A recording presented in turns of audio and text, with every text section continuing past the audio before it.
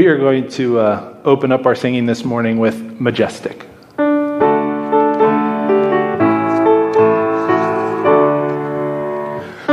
Lord, oh Lord, how majestic is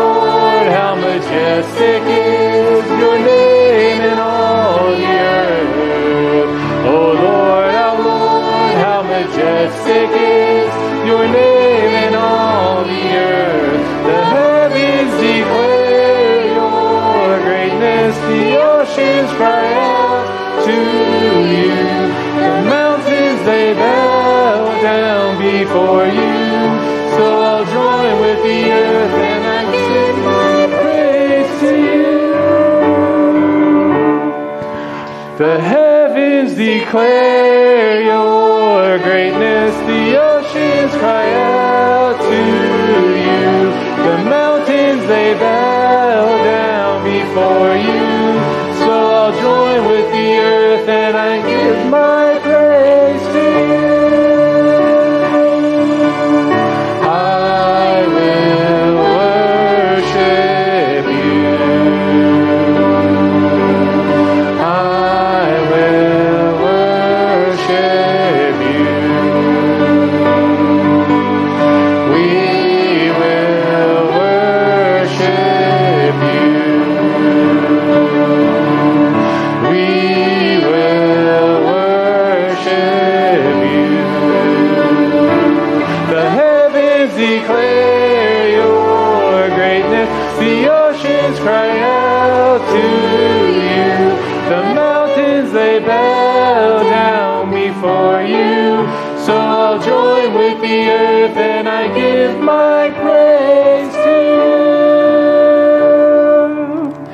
and we'll continue singing with Higher Ground.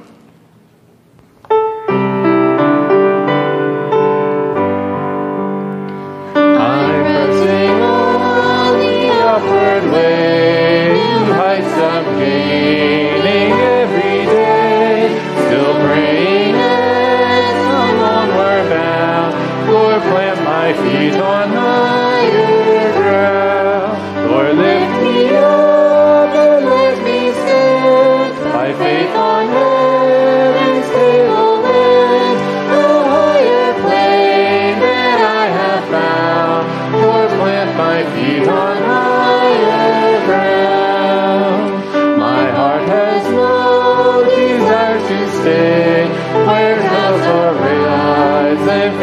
this.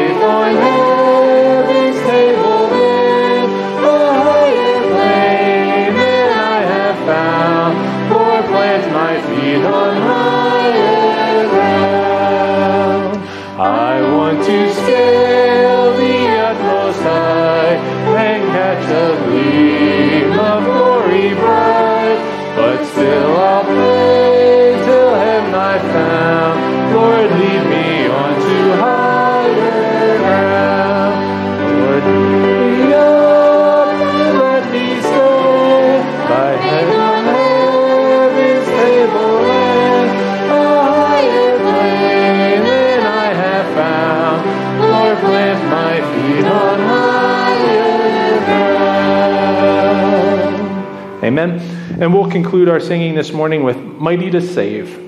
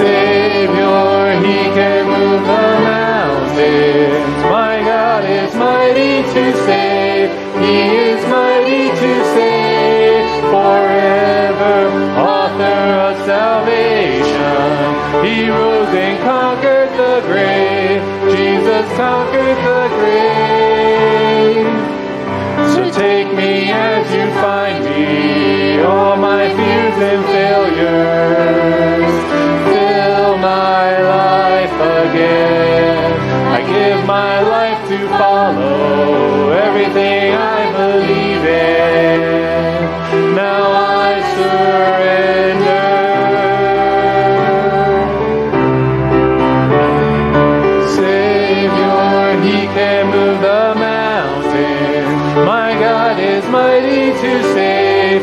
He is mighty to save forever.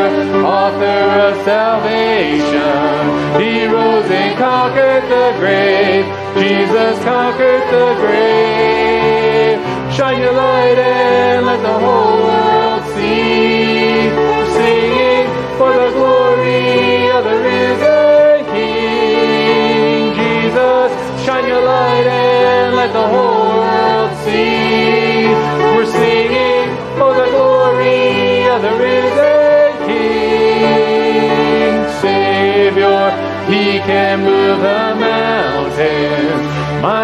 God is mighty to save. He is mighty to save forever. Author of salvation. He rose and conquered the grave. Jesus conquered the grave. Savior, He can move the mountains. My God is mighty to save. He is mighty to save forever. Author of salvation. He rose and conquered the grave. Jesus conquered the grave. Father God, we thank you, Lord. We thank you for blessing us and just giving us the voices to sing your praises, Lord. We pray, Father God, that you would just take this service now, that we can offer it up to you as a sacrifice of our love and devotion to you. Bless Nick now, Lord, as he comes and presents his message that you instilled on his heart, Lord. And we thank you and we ask all these things in Jesus' wonderful and precious name. Amen. Please be seated.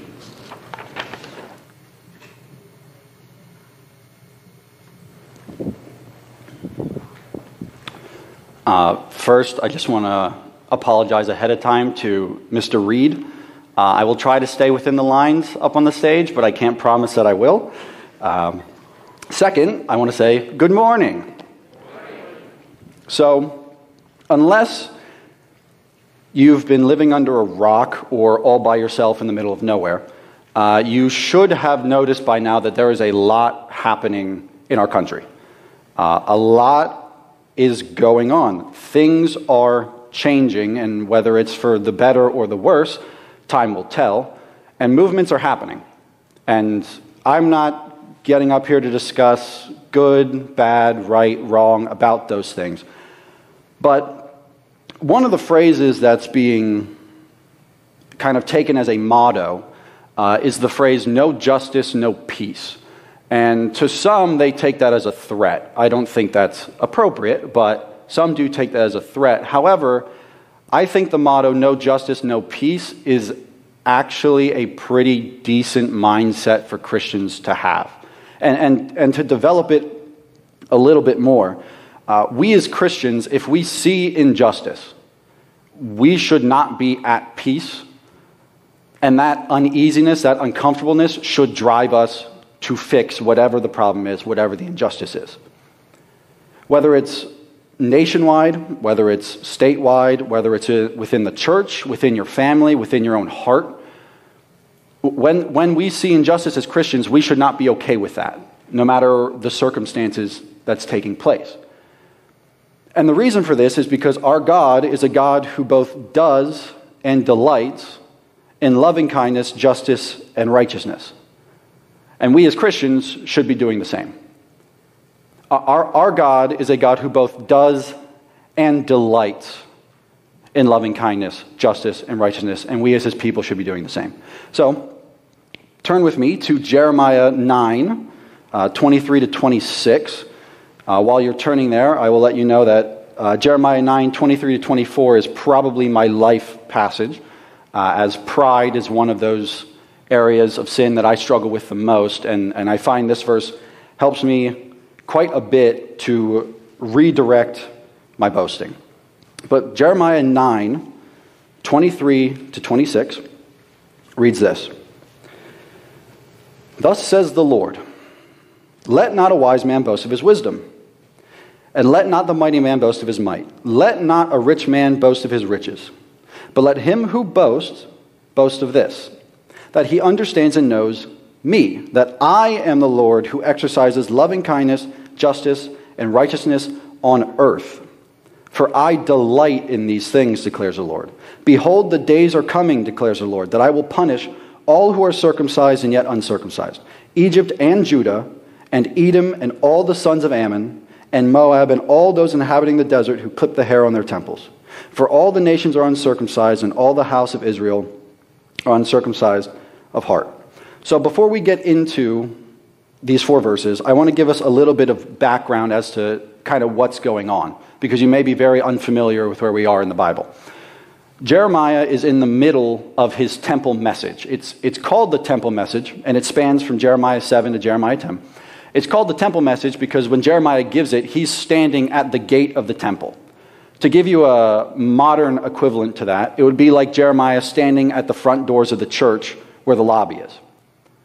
And so, standing at the temple gate means that everyone coming into the temple is hearing Jeremiah and everybody in the outer temple court, and potentially even the inner temple court, hears Jeremiah.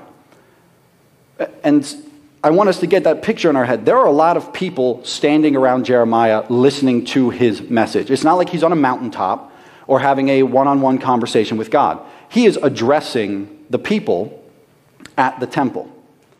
And this message, which starts in Jeremiah 7, starts with a promise. If you flip back just a few pages to Jeremiah 7, We'll be reading verse 3 and then verses 5 and 7. It starts off with a promise. Thus says the Lord of hosts, the God of Israel Amend your ways and your deeds, and I will let you dwell in this place. For if you truly amend your ways and your deeds, if you truly practice justice between a man and his neighbor, if you do not oppress the alien, the orphan, or the widow, and do not shed innocent blood in this place, nor walk after other gods to your own ruin. Then I will let you dwell in this place, in the land that I gave you to your fathers, forever and ever. And passages like this in Jeremiah is why Jeremiah is my favorite book of the Bible, is because even though as you read through Jeremiah, the situation just gets worse and worse and worse, God is always casting them a lifeline. He, he is always saying to them, Look, if you just turn from your wicked ways and turn back to me, you'll make it through this. But unfortunately, for the temple message, this is as positive as the message gets. Because what comes next is in Jeremiah 7 to 9, is God listing off all of their sins that they've been committing. And to, to give you a list of them, there's been stealing, murder, adultery, lying, family idol worship, disobedience. They've been increasing in evil as though their own sins were not bad enough. They are stubborn, they do not repent, they sacrifice their children in idol worship. There's apostasy, they glory in sin. So, all these things I'm listing off, they're not ashamed of, they're not trying to hide it. They are proudly toting it. There's betrayal, there's backstabbing, there's slander, and because of all of these things, throughout the temple message, God is letting them know yeah, there's judgment coming. And a great summation of that judgment, if you flip back to Jeremiah 9, is in Jeremiah 15 to 16 and then 20 or 21 to 22. So Jeremiah 9:15, "Therefore thus says the Lord, Lord of hosts, the God of Israel, behold, I will feed them this people with wormwood and give them poisoned water to drink. I will scatter them among the nations whom neither they nor their fathers have known, and I will send the sword after them until I have annihilated them." And then in verses 17 to 20, he calls for the wailing women, which were professional mourners. And this is what the mourners are to say. For death has come up through our windows. It has entered our palaces to cut off the children from the streets, the young men from the town squares. Speak, thus says the Lord, the corpses of men will fall like dung on the open field, and like the sheaf after the reaper, but no one will gather them. we tend to not really focus on these kind of passages in the, in the Bible because they make us uncomfortable. They make us a little uneasy. We don't like to read about God's judgment. And this isn't directed at us. We're, we're reading this thousands of years in the future. Imagine being one of the people in the temple that Jeremiah is addressing this to. He has just called you out on all of your sins, and then on top of it, he's saying, and because of all these things, you are going to be removed from the face of the earth. As you can imagine, this doesn't sit well with the people who are hearing it. And they offer up some defenses. In fact, in Jeremiah 7, there is a response to one of their defenses, and we won't, we won't flip back there. But in Jeremiah 7, 9 to 11, there, the people's defense against these calls for impending doom is that they have the temple of the Lord. As long as they have the temple of the Lord, just like a good luck charm, the Lord will never destroy this place. It's, it's where God's house is. God won't destroy his own house. So we can live however we want, and as long as the temple's still standing, we're fine. In the next four verses, uh, Jeremiah 7 12 to 15, God debunks that immediately. He tells them, Well, I once lived in a tabernacle, and it was in a place called Shiloh. Shiloh is destroyed, and if you go there, you will see it. And I will do the same to this house. And so you can't use the fact that my house is here to excuse your rampant sin and to save you from judgment. And that's not the only mindset that can be implied from the passages in the temple message. Because another thing I want you to take into consideration is that at this point, this is early in Jeremiah's ministry. King Josiah, who, if you know about uh, church or church history, Israel's history, is the last good king Judah has. After King Josiah dies in battle against the Egyptians, they only have bad kings, and then the Babylonians come and wipe everybody out. But right now, King Josiah is alive and well, and he is on fire for the Lord, doing reforms all across the nation. And so it wouldn't be much of a stretch for the people who hear Jeremiah's message of impending doom to point to their king and be like, no, we got the right guy in the highest office of the land. Judgment, it ain't going to come. King Josiah, he's on fire for the Lord. And even if judgment does come, whoever sends it, King Josiah, he's wise enough, he's smart enough to navigate those political waters. Or if he's not, we have an army big enough that we are exacting tribute from smaller countries around us, and all of our cities have big walls. So if someone shows up, we can take them. And even if we can't do that, stock market's doing really well. Gold and silver are aplenty. I mean, look at the temple. It's coated in gold, it's coated in silver, it's coated in copper and bronze. Push comes to shove, we just give them some money, they leave us alone. We are fine, we don't have to worry about this impending judgment you speak of. And then we get to verse 23. Thus says the Lord Let not a wise man boast of his wisdom, and let not the mighty man boast of his might. Let not a rich man boast of his riches. The first thing I want you to notice is that this verse starts with, Thus says the Lord. I don't know about you guys, but usually when it comes to my Bible reading, that's a phrase that I just kind of skip. But I don't want us to this time because if, you, if your Bible does it the way my Bible does it, the word Lord is in all caps, capital L O R D. That is the name Yahweh. This is, this is God's highest name. This is the name that God gave to Moses, saying that he was the great I am when Moses was going to take all the people out of Egypt. This is God's covenantal name. And what is the Lord saying? Yeah, don't boast in your wisdom, don't boast in your power, don't boast in your riches. And this word boast actually has a really pretty uh, imagery in it. It means to shine.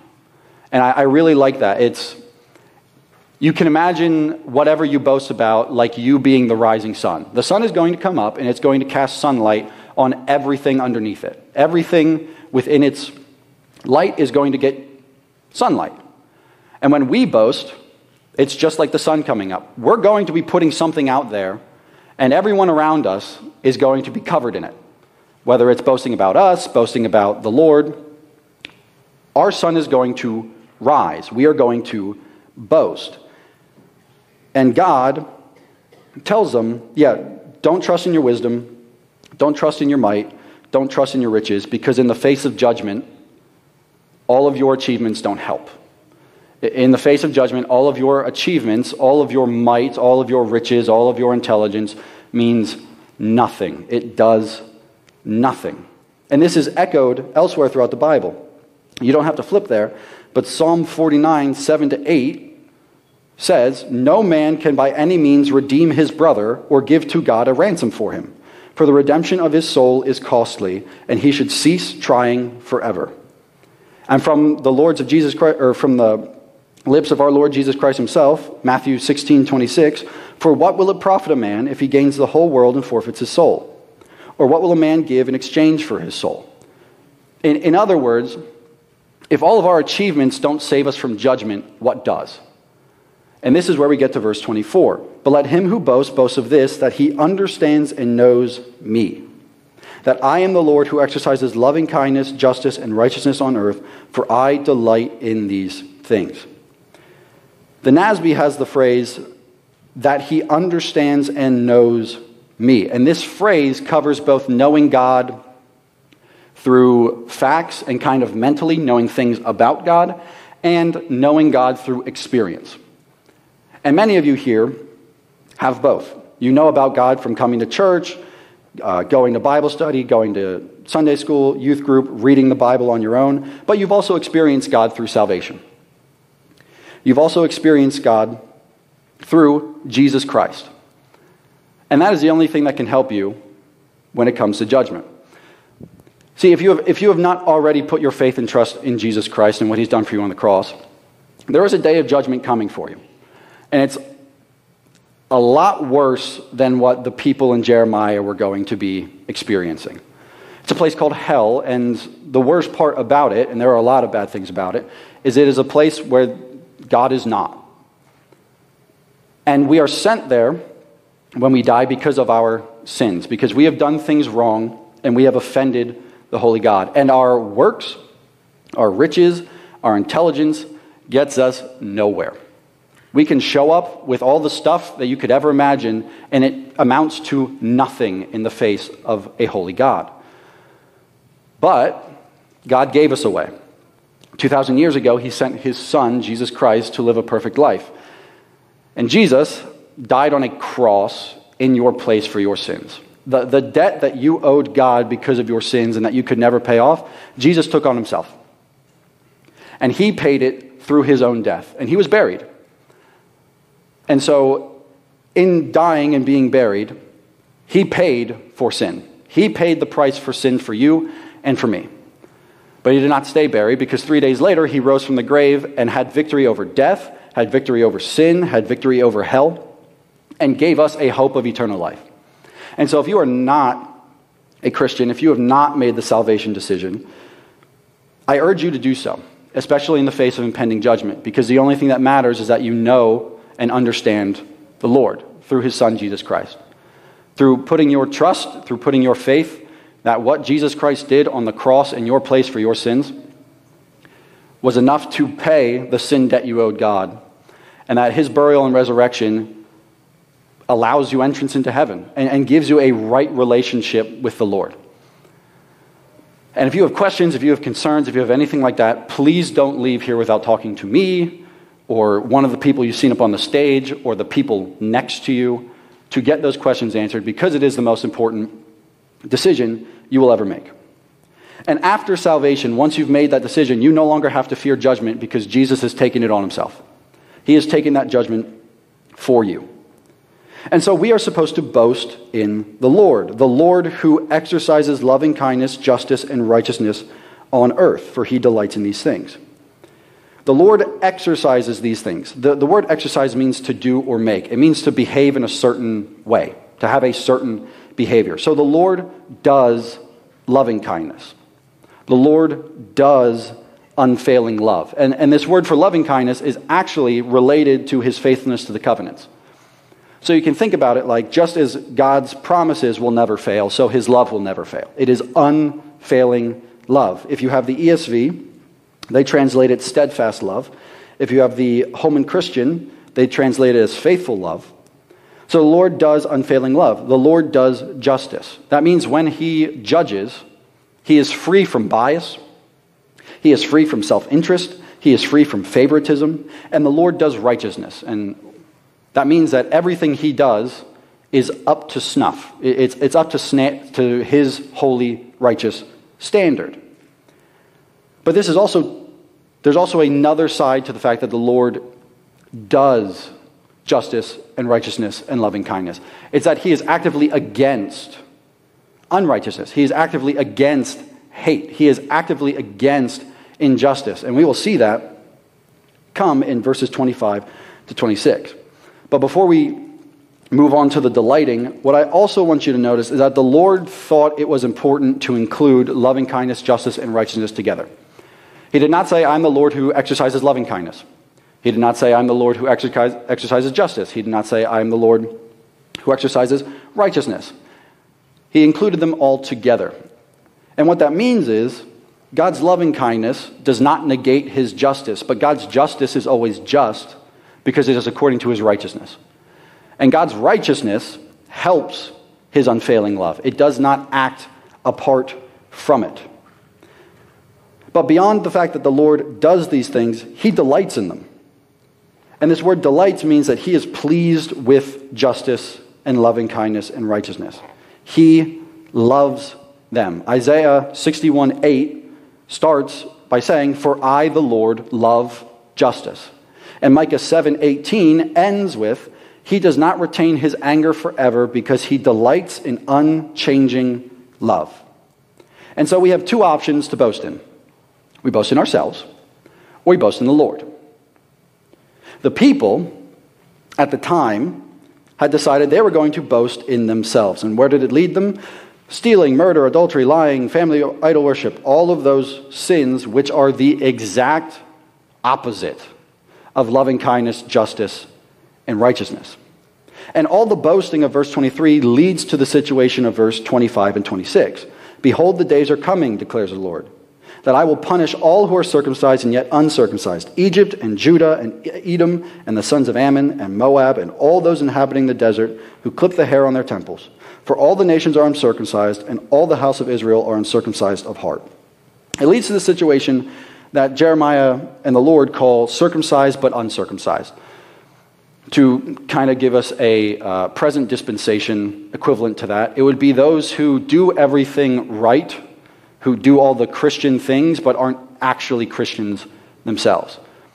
And what this produces, this circumcised yet uncircumcised, it does not produce righteous people, but it does produce religious people. It produces highly religious people who say, I've gone to church my whole life.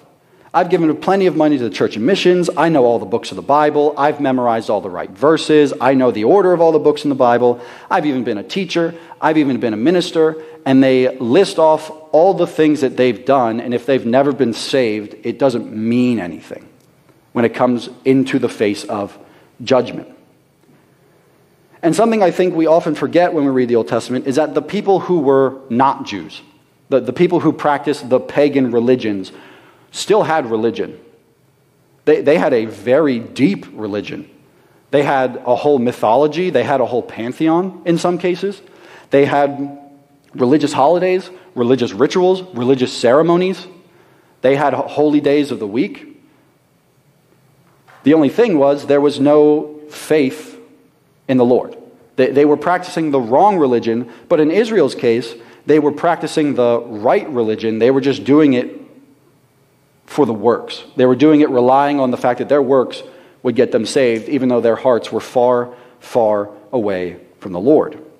And so, we as Christians, those who have been saved, should be boasting in the Lord. And this is where, finally, thank you for waiting, uh, we get to us. Because the Jews at the time, in Jeremiah's address, are boasting in themselves and their works. But what if the only thing we as Christians did was boast in the Lord? What if we only gloried in and shined in the Lord? When, when our sun came up in the morning, everyone was bathed in knowledge of the Lord because we just can't stop thinking about it. We can't stop talking about how great our Lord is and what he's done for us through his son, Jesus Christ. What do you think happens when we boast in the Lord who exercises loving kindness and justice and righteousness? When we boast in the Lord who is against hatred and who is against injustice and who is against unrighteousness? When we boast in the Lord who delights in unfailing love and justice and righteousness? And when we boast in the Lord who sent his Son to die in our place, which, by the way, is the greatest example of love and justice and righteousness that the Lord has to offer. What do you think happens when our thoughts and our words are oriented on boasting in the Lord instead of ourselves? Our doing and our delighting begins to change, and it begins to come in line with the Lord's. And so we start to treat our children fairly, or our siblings fairly, or our parents fairly, or our friends fairly. We start to practice patiently loving coworkers, neighbors, friends, even when we don't like them, even when they get on our nerves. We strive to live up to God's holy standard, which is exemplified in Jesus Christ. And I'm going to tell you, you're not going to get there this side of heaven, but that doesn't mean you're, it's not worth it. It means that we, in our own life, we, when we have the ability to judge, when we have the ability to enact justice, we are fair. We don't lean towards our favorite child, which kids, you can all ask, you know, who's, who's your parent's favorite once this is done. We don't practice bias because, oh, they're my political party, or they're my economic class, or they're from my neighborhood, or my hometown, or they're my family. We stand against hate. We stand against injustice, no matter who says it, whether it's our guy or the other guy, and no matter who it's enacted against, who, no matter who the injustice is enacted against, whether it's our guy or the other guys. And so, this is the standard we are called to. And I'm not going to kid you, it's not easy and it's definitely not comfortable. But our God is a God who both does and delights in loving kindness, justice, and righteousness. And we as his people should be doing the same. This is the God we serve. This is how the Lord has described himself in Jeremiah 9 23 to 26. The one who does and delights in loving kindness, justice, and righteousness. And we as Christians, we know and understand the Lord better than non Christians do because we've experienced him through his son, Jesus Christ, and our personal salvation, and we've experienced him through his word. And because of that, Christians should be the driving force for love. And Christians should be the most vocal voice against hatred. Christians should be the driving force for justice and the most vocal against injustice. Christians should be the one driving for righteousness and being the most against unrighteousness. And just as the Lord lumped all three of these together, so we have to make sure that we're doing it. Because justice without love and justice without righteousness often turns to injustice and often turns to cruelty. And righteousness without love turns to legalism. And love without justice and love without righteousness doesn't help anybody. It doesn't confront sin. And we should be the driving force for justice, love, and righteousness, no matter who's involved. No matter if it's red versus blue or blue versus red, black versus white or white versus black, whether it's rich versus poor, poor versus rich, young versus old, old versus young, whatever dichotomy you want and whatever group you want to throw yourself in, you don't, as a Christian, get to just practice righteousness, justice, and loving kindness to your side. That is not why the Lord has left you on the earth. And it's hard. It's a high standard and it's a tightrope to walk. And if you've ever seen anyone do a tightrope act, hopefully they had a net under them. Hopefully they had something to catch them so that if they did mess up, if they did fall off the tightrope, they didn't die. For Christians, as we walk this tightrope, our net is grace. Because you're going to mess up, you're going to fail. It's going to happen. But the grace catches us and it puts us right back up on that tightrope so that not only can we walk it, but we can lead those behind us on it as well. Let's pray. Dear Lord, I thank you for this day. I thank you for another day you've given us, and I thank you that you are a God of loving kindness, justice, and righteousness. And that you have given the greatest display of those attributes through your Son, Jesus Christ, and that we, by placing our faith and trust in what your Son has done for us on the cross, can experience that in a way that we cannot experience any other. And that we can be free from the fear of judgment and the impending threat of hell but instead know that your Son took it all on himself for us so that we have something to look forward to, and that our relationship with the Lord while on earth is fixed, it is reconciled. And so I pray that if there's anyone who has not made that decision, that they would come talk to me, talk to the person next to them, ask their questions, voice their concerns, have a conversation, that they would not leave here without knowing your gospel and knowing what your Son has done for us. And I pray that in these tumultuous times, these kind of crazy times that America is going through right now, that Christians would not get caught up in the left versus right, or black versus white, or young versus old, or any of those debates. But that as Christians, we would simply be pushing for what you do and what you love, which is love, justice, and righteousness. And that no matter the circumstance, no matter what happens, we would be the driving force for that and be leading others behind us. I pray all these things in your name. Amen.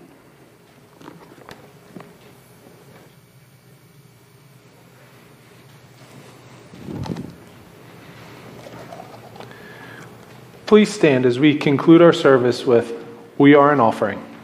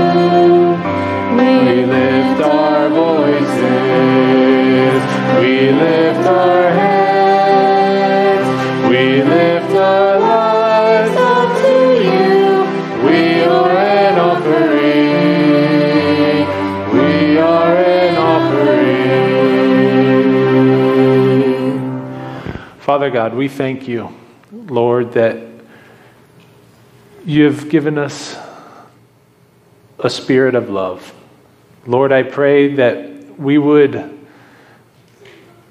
have courage, Lord, to stand up for justice and kindness and peace.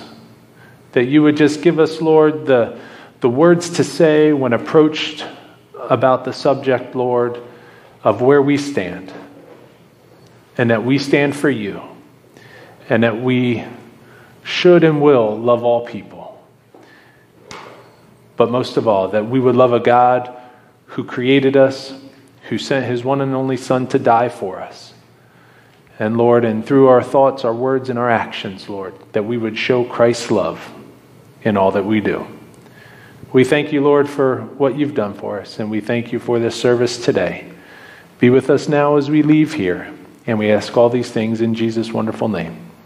Amen.